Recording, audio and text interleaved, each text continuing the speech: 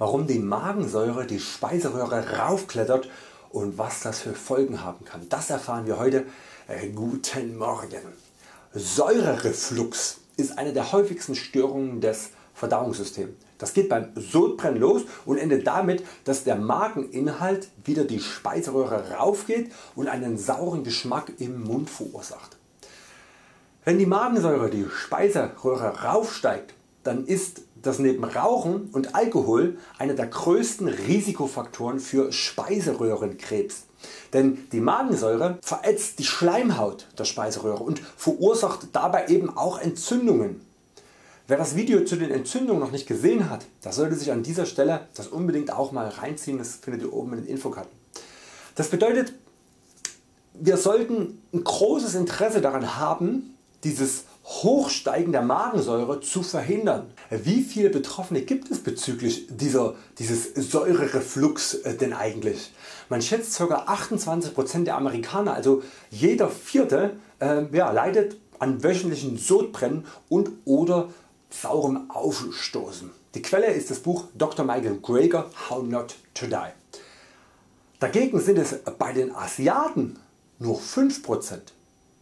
Aufgrund dieser Unterschiedlichkeit hat man einen Zusammenhang zwischen ja, der unterschiedlichen Ernährung vermutet und laut Dr. Michael Greger sind 45 Studien in den letzten 20 Jahren zum Thema Säurereflux, ähm, Ernährung und entsprechend äh, auch den damit assoziiert Speiseröhrenkrebs äh, gemacht worden. Und dabei hat man halt festgestellt, dass rotes Fleisch und äh, fettreiche Mahlzeiten besonders mit Speiseröhrenkrebs assoziiert sind.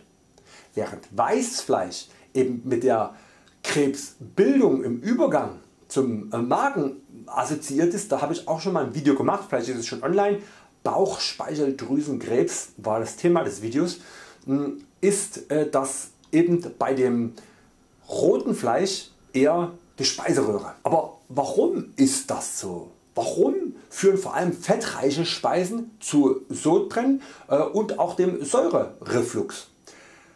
Circa 5 Minuten nach dem Verzehr von viel Fett entspannt sich der Schließmuskel am Mageneingang, der quasi dafür sorgt, dass der Mageninhalt im Magen bleibt und alles cool ist.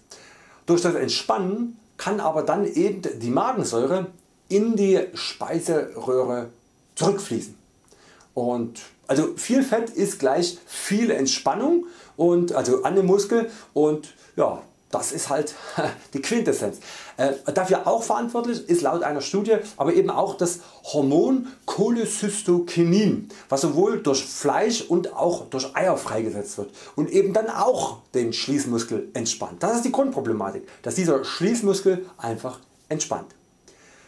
Das erklärt dann eben auch, äh, dass fettreich essende Vegetarier trotzdem ein äh, verringerndes Risiko bezüglich Speiseröhrenentzündung haben durch ähm, ja, also im Gegensatz zu Fleischessern, obwohl der Säurereflux quasi äh, ja, auch gefördert wird durch, durch das Fett. Aber es gibt eben zwei Kernpunkte äh, die man bisher herausgefunden hat für das Sodbrennen. Einmal ähm, fettreiche Speisen, egal ob äh, pflanzlich oder tierisch und zum zweiten eben dass ähm, ja, dass dieses Hormon sozusagen vermehrt gebildet wird durch vor allem Fleisch und Eier.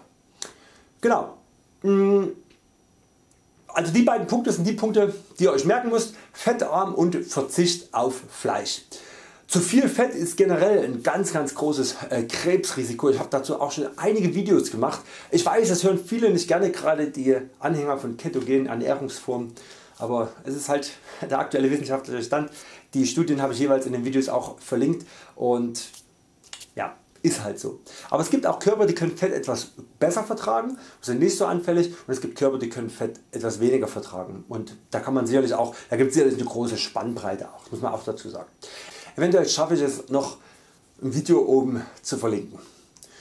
Nun werden einige sagen, aber es gibt doch Medikamente gegen Sodbrennen. Ja, Abgesehen davon, dass der Denker in mir es nicht besonders klug empfindet die Symptome zu bekämpfen und nicht die Ursache, so können diese Medikamente laut einer Studie zu Nährstoffmangel, einem erhöhten Risiko für Infektion und eine größere Chance auf Lungenentzündung führen. unten auch die Studien wieder. Das sinnvollste ist eine natürliche artgerechte Ernährung die ja, ganz automatisch dafür sorgt dass die Magensäure im Magen bleibt. Eine weitere Studie in dem Zusammenhang hat sogar mit Zahlen belegt wie eine pflanzliche Ernährung gegen Speiseröhrenkrebs wirkt. Konkret halbiert sich das Risiko bei einer antioxidantienreichen Kost Speiseröhrenkrebs zu bekommen. Vor allem rotes, oranges und dunkelgrünes, dunkelgrünes Blattgemüse sind da besonders wichtig, weil Sodbrennen ist nichts einfach nur unangenehmes, sondern ist ein ganz ganz großes ja, eine, ein, ein krebskatalysierendes ähm, ja, Symptom würde ich sagen. Und deswegen ist es auch wichtig gewesen heute mal ein Video darüber zu machen. Äh, ja. Wenn ihr den Kanal noch nicht abonniert habt und weiter auf dem aktuellen Stand bleiben wollt, dann könnt ihr das gleich nachholen und ich freue mich natürlich äh, immer über Feedback per Daumen oder per Kommentar. Alles Liebe, Euer Christian.